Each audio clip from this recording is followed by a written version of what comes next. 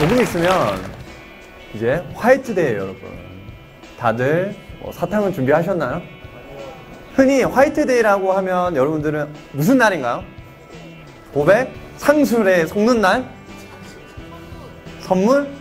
대부분은 화이트데이라고 그러면 사탕을 주는 날이라고 생각을 해요, 여러분. 근데 저는 화이트데이를 뭐라고 생각하냐면 달콤한 연인의 정서를 활용할 수 있는 날인 거예요.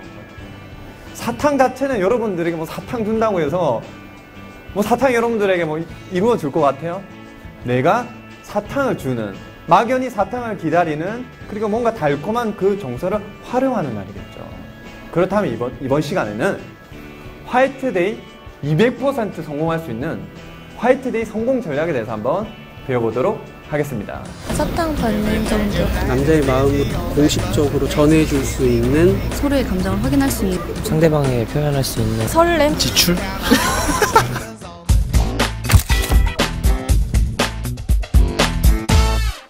한국 커플 연인들이나 이 솔로들이 화이트데이 좀 되게 실패율이 높은데 그 이유가 뭔지 아세요, 여러분? 커플들은 의무감에 건성으로 사탕 그냥 하나 사서 던져주는 거예요. 그래서 실패하고 커플들은 사탕 하나만으로 뭔가 이루어질 것 같은 맹신을 하게 된다는 거죠. 그건 착각이란 말이에요. 화이트데이에 성공할 수 있는 기술에 대해서 한번 배워보도록 하겠습니다.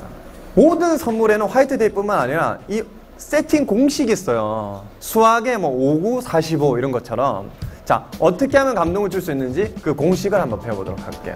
이게 바로 뭔가 삼합이에요. 삼합. 네, 이셋 중에 하나라도 빠지면 허전해지는 거예요. 사탕과 선물과 편지인 거예요, 여러분. 사탕이라고 해서 사탕에 갇혀 있으면 안 돼. 주입식 사고방식이 길들여지잖아요. 사탕 이러면 사탕만 산단 말이에요. 아니, 여자친구가 초콜릿을 좋아하면 초콜릿을 줄 수도 있는 거고, 카라멜을 좋아하면 카라멜 사줄 수 있는 건데, 화이트데이 사탕, 먹지도 않는 사탕만 한 그 이렇게 사주면 누가 좋아하겠어요? 그리고 선물을 빠뜨리잖아요. 그러면 여자에게 뭐라고 낙인 찍힌다? 여자분도 마찬가지야. 사탕 하나만 딱 내밀잖아요. 센스 없는 사랑으로 낙인이 찍혀버리는 건가요.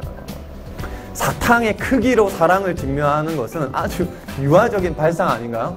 이만한 사탕을 주면 내 사랑이 이만해지는 건가요?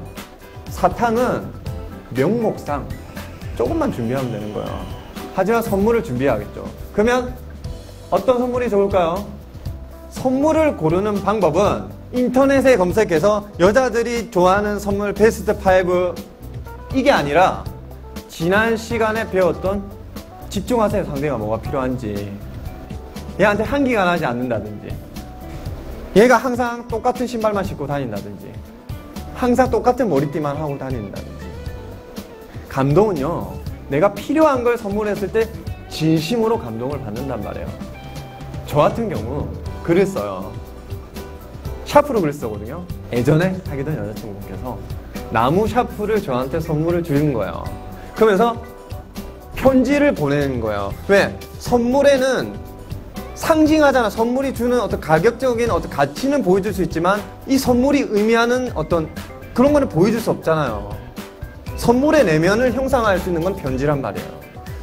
내가 그냥 나무 샤프를 받으면 뭐야 그냥 나무 샤프 이렇게 말이야. 근데 그 왜 나무 샤프를 서- 샀는지를 설명해 주는 거야 편지에. 창민아, 너가 나무 샤프로 글을 쓰면 나무는 온기를 머금잖아. 내 마음이 조금이라도 사람들에게 더 따뜻하게 전해줄 수 있을 것 같아서 나는 나무 샤프를 샀어라고 해서 그걸 받았을 때 나는 그 여자를 기억하게 되는 거죠. 남자의 머릿속에 여자는 두, 두 가지밖에 없어요. 기억할 수 있는 여자와 기억에서 지워진 여자란 말이에요. 나는 그 어떤 때보다 감동을 받았어요. 여러분들이 누군가에게 뭔가를 해줄 때 그 선물은 인터넷에 검색해서 남자들이 혹은 여자들이 좋아하는 게 아니라 얘가 뭘 좋아하는지를 알아야지 나는 이 상대가 원하는 것들을 해줄 수 있는 사람이 되는 건가요. 흔히 영화나 뭐 유혹의 기술 이런 거 보면 원하는 걸 해줘요 라고 얘기를 하잖아요. 그 원리가 바로 그건 거예요. 자, 제가 일본인 여자친구가 있었는데 그 친구에게 제가 발렌타인데이 때 어, 선물을 초콜릿을 받았는데 정말 감동을 받은 게 뭐냐면 그 초콜릿을 포장하기 전까지의 모든 과정을 사진으로 찍어서 저한테 보여주더라고요. 그러면 그 초콜릿은 얼마나 그 안에 정성이 들어간가를 나는 모르지만 그 사진을 봄으로 인해서 나는 상대의 정성을 느낄 수가 거예요. 누구나 사탕을 줄 수는 있어요. 하지만 내 마음을 담긴 사탕은 그 사람만이 줄 수 있는 거잖아요. 이 삼합을 지킬 때 가장 자신의 어떤 마음을 더 성공적으로 표현할 수 있다라고 생각을 해요. 자, 그리고 이 여자들이 남자를 볼 때 정말 중요하게 생각하는 게 뭔지 아세요? 센스예요, 센스. 센스를 담아보세요.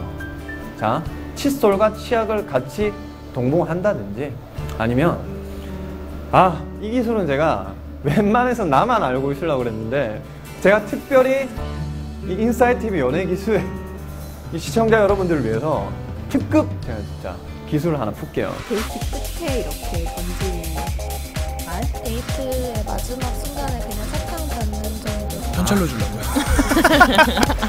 저는 사탕을 줄 때 그 여자친구 부모님을 위한 건강 캔디도 같이 선물을 해요. 홍삼 캔디라든지. 그러면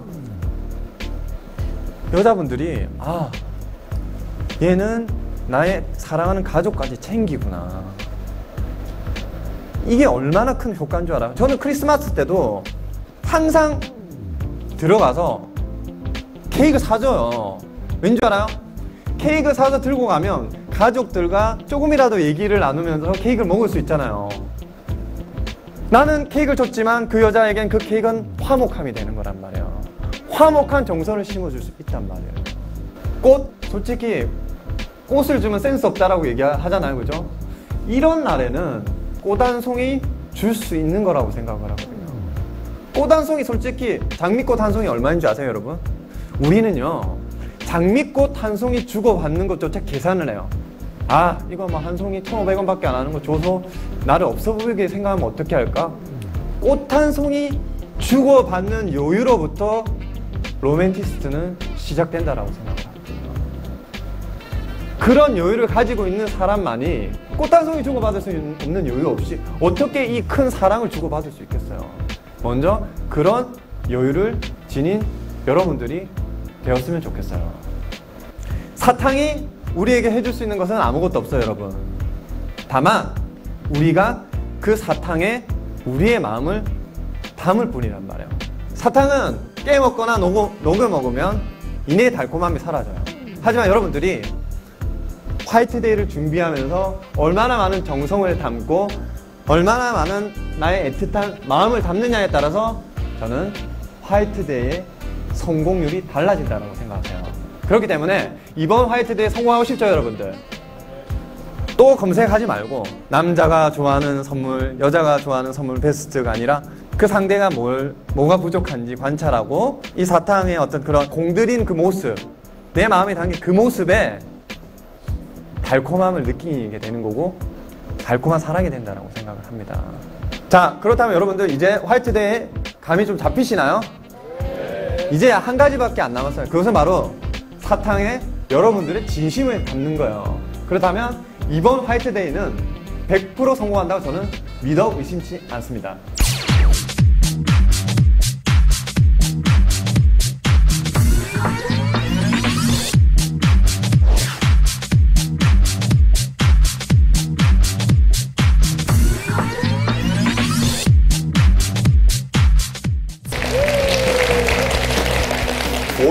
하면 여러분들이 떠오르는 생각이 뭘까요? 뭐 여기서 뒹구는 거? 저는 이 공간을 보면 이 공간이 꾸며지면 꾸며질수록 그 사람이 외롭다라는 정서가 느껴져요. 여기서 외로움은 단순히 혼자 있는 외로움이 아니에요. 혼자서 있다 보니까 자신의 취향에 깊이 빠져들게 되고 이 취향을 공유할 수 있는 사람을 만나지 못하면 더 큰 외로움에 빠진단 말이에요. 혼자 사는 원룸의 정서를 알고 있을 때만이 여기 살고 있는 사람의 마음을 유혹할 수 있단 말이에요. 일단 연애 초보 같은 경우에는 혼자 살고 있는 사람 집에서 절대 하지 말아야 될 베스트 5부터 한번 배워보도록 하겠습니다.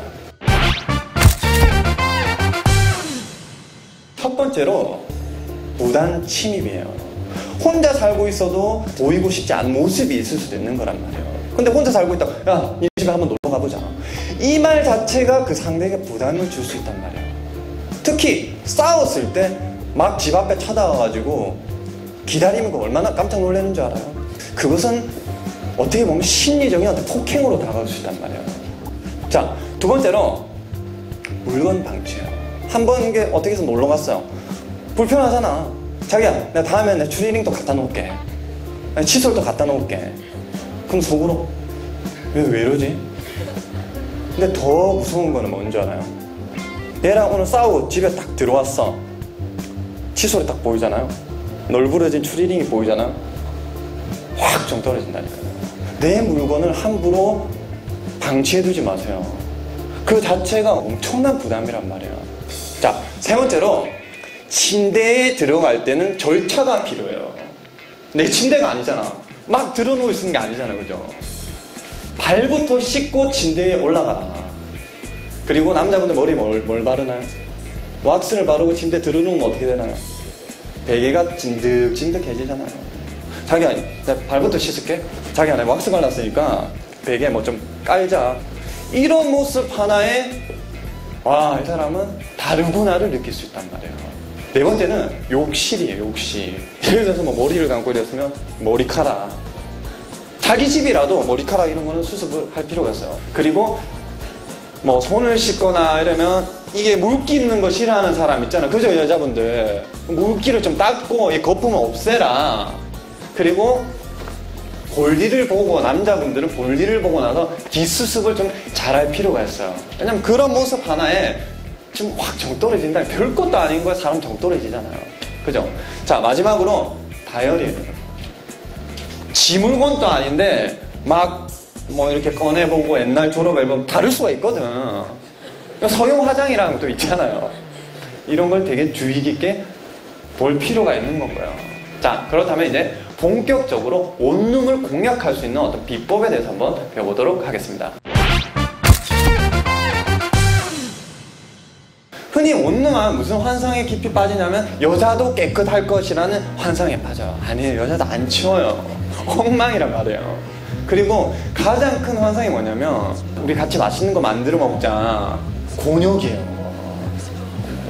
애인 만났을 때만큼은 나가서 먹고 싶단 말이에요. 청소 이렇게 설거지도 안 해도 되고.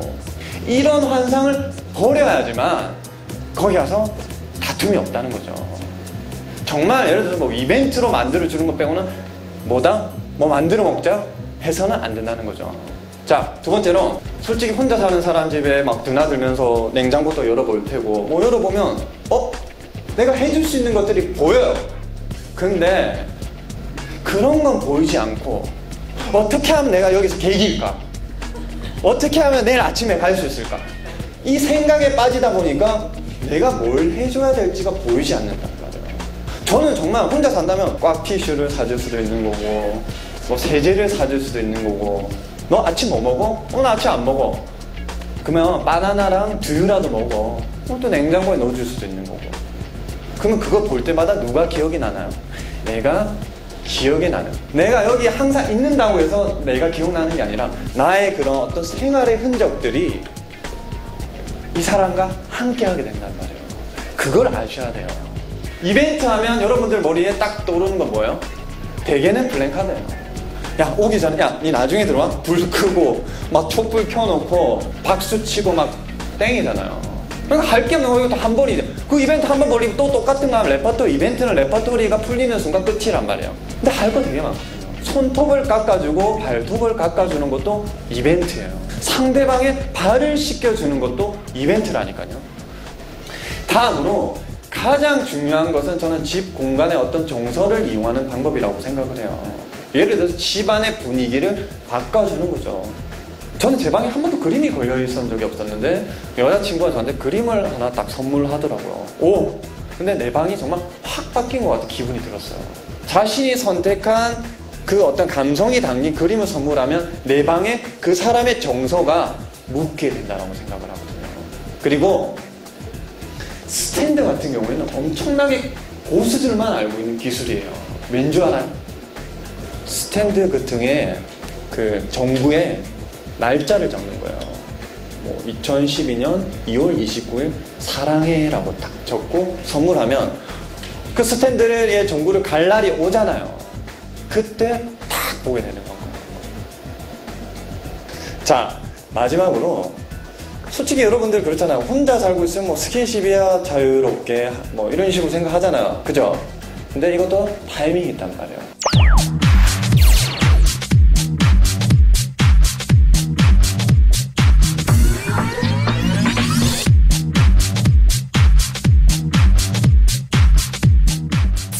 혼자 살고 있는 사람의 가장 스킨십이 이상적인 타이밍이 뭐냐? 상대가 설거지를 하고 있을 때. 살포시 가서 뒤에서 안아주면서 얘기를 하는 거야. 야, 너가 이렇게 설거지를 하는 모습 보니까 너무 사랑스럽다면서. 얼마나 자연스러운 접근법일까. 요리를 하고 있을 때, 아, 너가 요리하는 모습 보니까 너무 사랑스러워서 뒤에서 꼭 안아주고 싶어서. 안아준 다음에 나머지 진도는 알아서 하시는 겁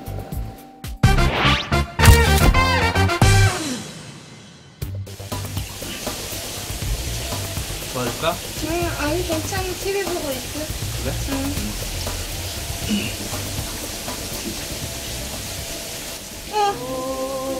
아 놀래라.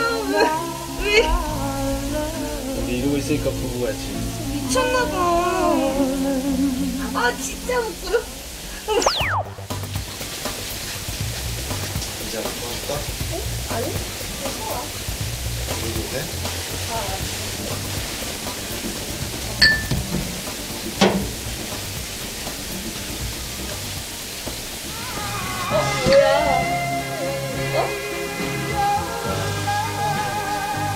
뭔데? 미쳤어?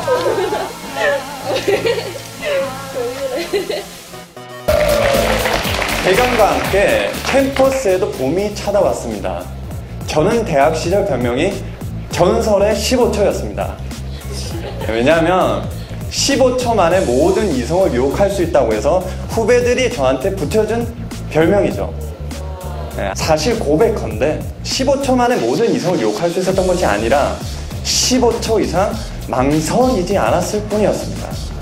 자, 그렇다면 이번 시간에는 캠퍼스 연애 정석을 배워보며 낭만으로 한번 물들여 보도록 하겠습니다.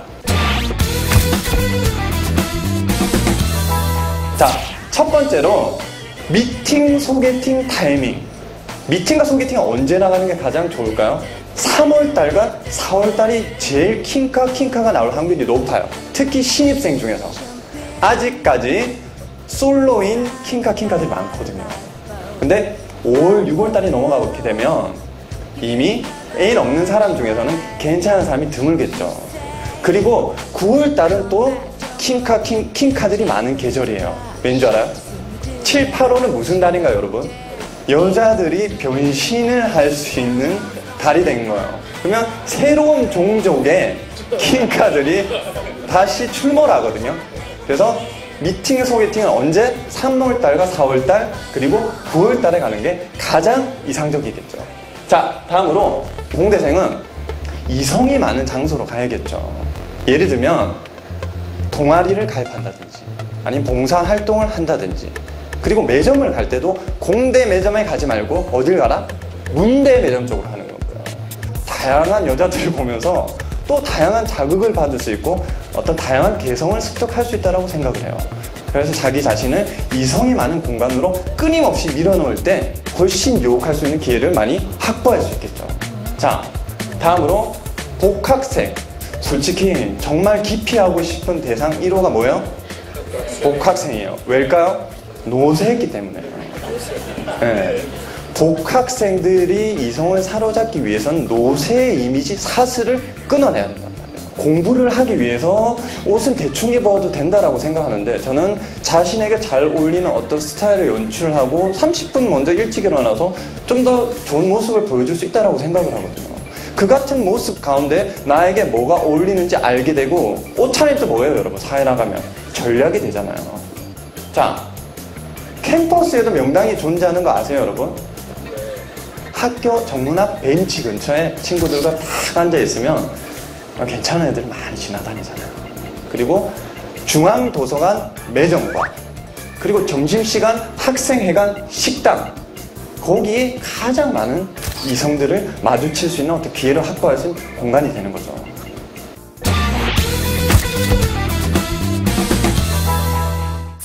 일단 마음에 드는 이성을 발견했을 때는 그냥 맨손으로 가는 것보다 일단은 상대가 지금 뭘 먹고 있는지를 유심히 관찰하세요. 예를 들어서 뭐 그냥 과자나 이런 걸 먹고 있다 그러면 음료수를 사는 거고요. 근데 상대가 커피를 마시고 있다. 그러면 그 커피에 어울릴 만한 케이크를 사서 가는 거고요. 그리고 절대 중요한 건 뭐냐면 앉아있을 때 음료수를 일단 들고 갔을 경우 음료수를 따야 돼요. 그래야지 왠지 미안하잖아, 그죠? 그러면서 어 잠시만 실례할게요 하면서 잽싸게 선수를 치고 앉아야 돼요. 왜? 아이 컨택을 해야 되니까. 그런 다음에 뭐라고 질문을 던지는 줄 알아? 혹시 우리 학교 아니죠? 어, 저 학교 맞는데요? 왜 이 사람이 우리 학교 아닌지라고 물었지? 그래서 궁금하시다. 그때 얘기를 하는 거야. 아니, 우리 학교에 이렇게 괜찮으신 분이 없는 것 같아서요. 뭔가를 들고 가서 앉아서 아이 컨택을 하고 질문을 던져라.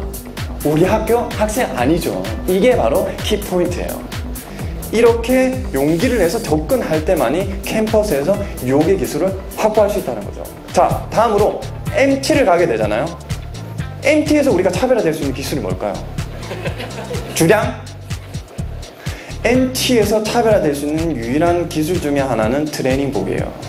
근데 대개는 트레이닝복에 신경을 쓰지 않고 그냥 평상복에만 신경 쓰잖아요.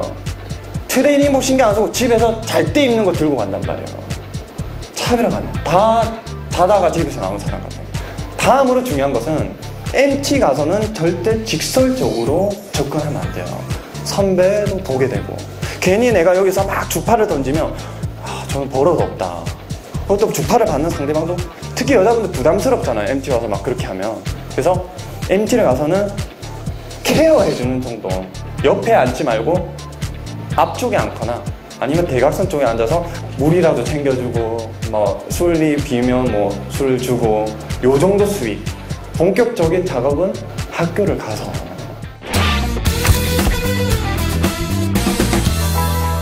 제 친구 중에는요 한 번도 애인이 없었던 적이 없는 친구가 있어요.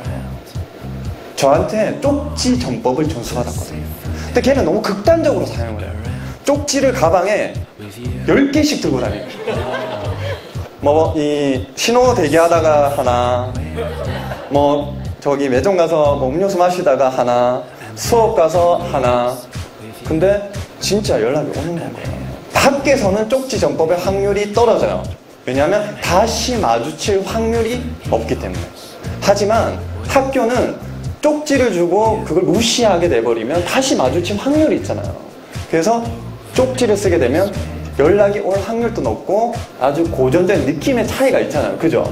쪽지 내용은 어느 과인지 소속을 밝히는 게 가장 중요하고 그 다음에 이름과 연락처와 키포인트는 메일 주소예요. 메일 주소. 바로 연락 못 하니까 뭐 요즘은 트위터 시대니까 뭐 트위트 주소를 적는 것도 괜찮은 방법이죠.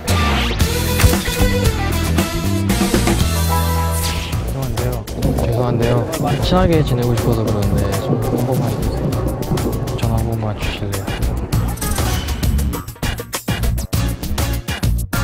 번호 한 번만 주실 수 있으세요? 감사합니다.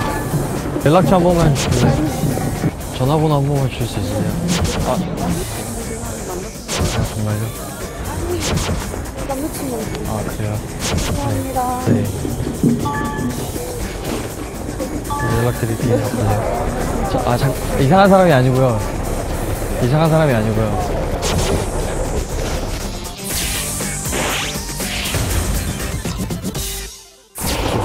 죄송한데요. 아, 이상한 사람이 아니고요. 아까 잠깐 봤는데 너무 마음에 들어가지고 이거 보시고 전화 한 번만 주실래요? 아니 너무 마음에 들어가지고 이거 보고 또 연락하는 거 같아요. 이상한 사람 아니에요, 진짜로. 연락 한 번만 주세요. 감사합니다.